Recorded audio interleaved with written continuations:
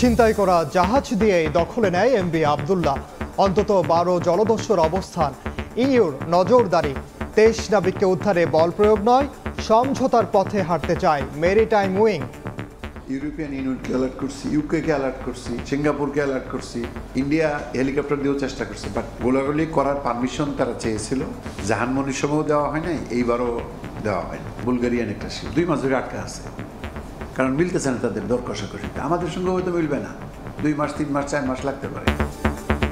অবশেষে টনক নড়ল নৌ বাণিজ্য অধিদপ্তরের ঝুঁকিপূর্ণ সমুদ্র পথে আর্মস গার্ড নিয়োগের নির্দেশ।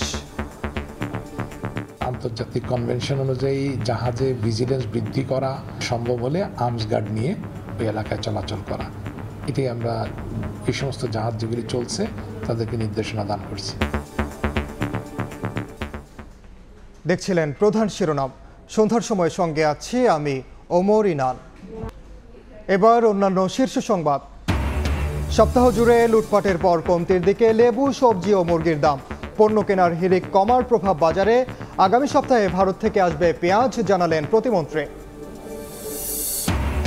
আন্দোলনে ব্যর্থ হয়ে বাজার সিন্ডিকেটের যোগ সাজসে নেমেছে বিএনপি, বলছে আওয়ামী লীগ। সরকারি পৃষ্ঠপোষকতায় বাড়ানো হচ্ছে দাম, পাল্টা অভিযোগ বিরোধীদের। যেটা বন্ধ রাখতে বলছে সেটা কই? আসেন কথা বলে না আমি এখানে একটু দাঁড়াই বলি। আসেন কথা বলি। ঢাকঢোল পিটিয়ে অবৈধ হাসপাতাল বন্ধের অভিযান সব কিছুকে বৃদ্ধাঙ্গুলি দেখিয়ে আবারও রোগী ভর্তি অসহায় স্বাস্থ্য অধিদপ্তর। ভুল প্রশ্নে শিক্ষক নিবন্ধন পরীক্ষা মিরপুরের মণিপুর স্কুলে সঠিক প্রশ্নের খোঁজে পেরিয়ে যায় দেড় ঘণ্টা আরেক কেন্দ্র থেকে এনে নেওয়া হয় পরীক্ষা ক্ষুব্ধ পরীক্ষার্থীরা।